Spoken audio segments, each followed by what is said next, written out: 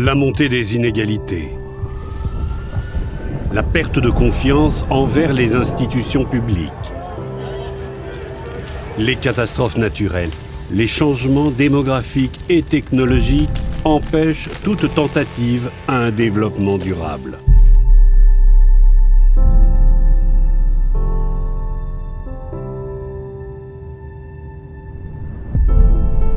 Certes, plusieurs freins subsistent, mais avec la mobilisation collective et des actions stratégiques efficaces et pointues, les objectifs de développement durable pourront être atteints.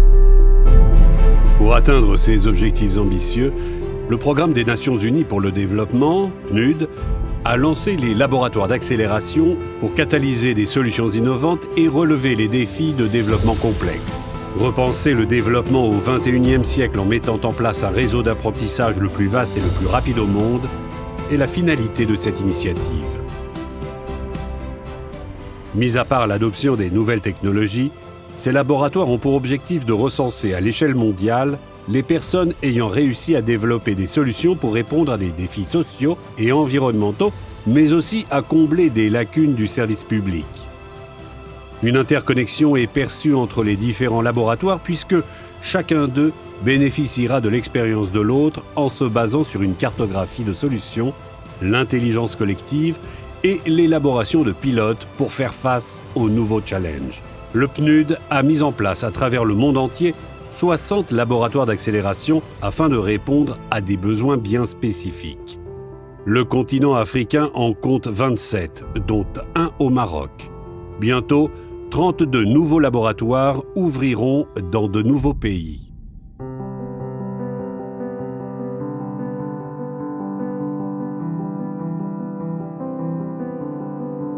Cette année, alors que notre ligne de service a été nouvellement intégrée au bureau du PNUD au Maroc, nous nous sommes mis au service de nos collègues pour essayer ensemble de repousser les limites de notre réflexion et de notre action hashtag NextGenUNDP.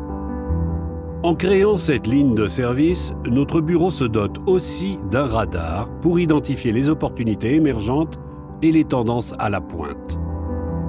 La pandémie de Covid-19 a exposé au grand jour les fragilités socio-économiques, la fracture numérique et d'autres vulnérabilités du pays. Plusieurs actions ont été menées afin d'atteindre les objectifs de développement durable à travers la mise en place du programme Tadamon pour faciliter l'accès au financement alternatif au profit des organisations de la société civile. Le renforcement de la viabilité des coopératives du sud du Maroc dirigées par des femmes à travers le digital. La promotion de l'apprentissage à distance pour les élèves vivant en milieu défavorisé.